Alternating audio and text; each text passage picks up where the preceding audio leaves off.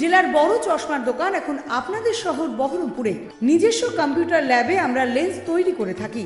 আমাদের ঠিকানা বহরমপুর সুশ্রুত আই হসপিটালের ঠিক পাশে, রাস্তার ডান দিকে এভারেস্ট অপটিক্যালে আপনাদের জানায় সাদর আমন্ত্রণ।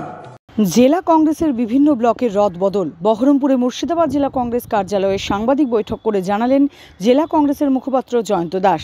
হরিহরপাড়ায় পূর্ণাঙ্গ ব্লকের সভাপতি করা হলো জাহাঙ্গীর শাহকে। এছাড়াও হরিহরপাড়া মুকুল ঘোষকে জেলা কমিটিতে নিয়ে আসা হলো।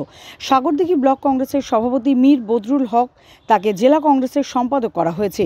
সাগরদিঘি ব্লকের সভাপতি পদে এলেন মুকলেশুর রহমান বাচ্চু। আমরা এখন তিস্তর পঞ্চায়েত নির্বাচন সবেমাত্র আমাদের দিন শেষ করেছি। এখনও আমরা নির্বাচন প্রক্রিয়ার মধ্য দিয়ে চলেছি।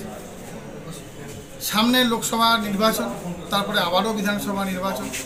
স্বাভাবিক কারণে পার্টি থাকলে তার সাংগঠনিক প্রক্রিয়া সারা বছর ধরে অব্যাহত থাকে স্বাভাবিক। আজ হরিহর পাড়ার ব্লক প্রেসিডেন্ট হিসাবে জাহাঙ্গীর শাহ, যিনি হরিহরপাড়া অর্ধেকটার ব্লক সভাপতি ছিলেন তাকে পূর্ণাঙ্গ ব্লকের দায়িত্ব দেওয়া হলো জাহাঙ্গীর শাহকে।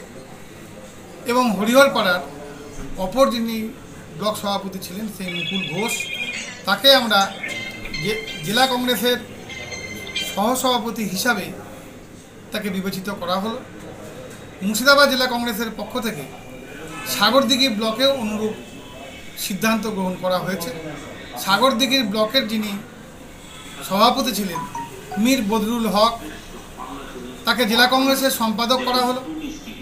এবং সেই সঙ্গে সঙ্গে সাগরদিঘি ব্লকের নতুন সভাপতি হিসাবে দায়িত্বভার দেওয়া হলো মুকলেশুর রহমান, অর্থাৎ পাতুদাকে খুব স্বাভাবিক কারণে এরা দুজন আজ দুই ব্লকের নবনির্বাচিত সভাপতি হলেন। আগেও দায়িত্ব না থেকে যে কাজ করেছিলাম, অজিত চৌধুরীর আদর্শে আদর্শিত হয়ে হরিয়াপাড়া ব্লকের আপামর জনসাধারণ তথা মুর্শিদাবাদ জেলাবাসী, পশ্চিমবাংলাবাসী অজিত চৌধুরীর উপর একটা আস্থা রাখে। সেই আস্থার মধ্যে দিয়ে আমরা কংগ্রেসের কর্মী হিসাবে কাজ করে আমরা আমাদের সংগঠন বাড়ানোর চেষ্টা প্রতিনিয়ত করেছি। আজও সেইভাবেই নিষ্ঠার সঙ্গে জেলা কংগ্রেসের দায়িত্ব আমাকে দিলেন। সেই দায়িত্ব আমি সুন্দরভাবে পালন করব এবং আগামী দিনে হরিয়ারপাড়ায় এই তৃণমূলের তৃণমূল বিজেপি যে অশুভ শক্তি, সেই শক্তির বিরুদ্ধে সাধারণ মানুষ ঐক্যবদ্ধ। সেই ঐক্যবদ্ধ মানুষকে নিয়ে জাতীয় কংগ্রেস শক্তিশালী করে হরিয়ারপাড়ায় পড়ায় সন্ত্রাসকারী তৃণমূল এবং বিজেপির অশুভ শক্তিকে আমরা বিনাশ করে জাতীয় কংগ্রেসকে শক্তিশালী করব